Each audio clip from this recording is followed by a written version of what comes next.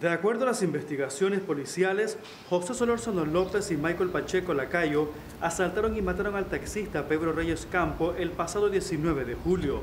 El esclarecimiento de la muerte homicida en el Distrito 6, ocurrido el 19 de julio a las 3 de la tarde, siendo informada la policía a través de la línea 118 por un ciudadano que fue identificado con sus iniciales sobre el hallazgo del cuerpo sin vida de una persona desconocida del sexo masculino en el interior del vehículo, un vehículo en la vía pública del cruce de Vía Dignidad 100 metros al norte en el Distrito 6. Los arrestados poseen un amplio historial delictivo y serán presentados ante un juez en las próximas horas.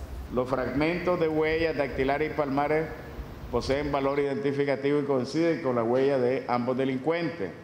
El tipo de sangre de la víctima, Pedro Pablo Reyes Campo, coincide con mancha de sangre recolectada en la escena del crimen. Tras la presentación de los detenidos, las autoridades policiales reiteraron que se está fortaleciendo la vigilancia y patrullaje en los barrios, mercados, paradas de buses y demás sitios de concurrencia masiva.